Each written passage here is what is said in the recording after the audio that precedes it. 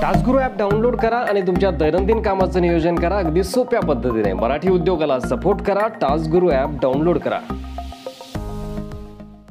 नमस्कार. भाजपामधून नुकतेच राष्ट्रवादीमध्ये आलेले अर्थात राष्ट्रवादी काँग्रेसचे नेते एकनाथ खडसे यांनी भाजपाविरोधात चांगलीच कंबर कसली आहे.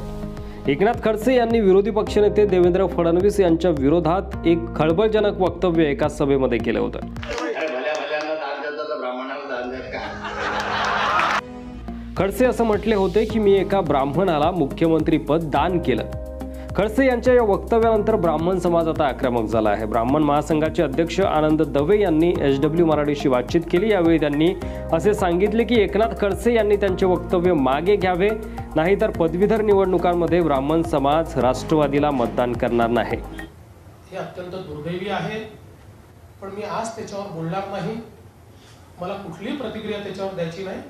योग्य वेळ ज्यावेळेस येईल त्याच्यावर मी सविस्तर प्रतिक्रिया देईन. पुढे दवे असंही म्हणाले की एकनाथ खडसे यांच्याशी बातचीत झाली त्यावेळी ते असं म्हणाले की माझा राग देवेंद्र फडणवीस यांच्यावर होता. जर असं होतं तर त्यांनी फडणवीसांना दान केलं असं म्हणायला हवं होतं. त्यात त्यांनी ब्राह्मणांचा उल्लेख करायला नको होता.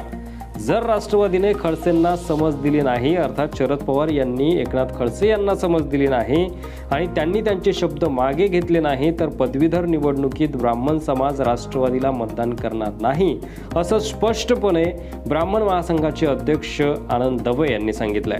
त्यामुळे आता एकनाथ खडसे यांच्या वाणीवर शरद पवार विराम लावतात का? आणि पवार साहेब एकनाथ खडसे यांना समज देणार का हे बघण्यासारखं असणार आहे. तुम्हाला काय वाटतंय? तुमचं मत तुमची प्रतिक्रिया कमेंट बॉक्समध्ये लिहायला विसरू नका आणि आपल्या चॅनलवर नवीन असाल तर सबस्क्राईब अवश्य करा. धन्यवाद.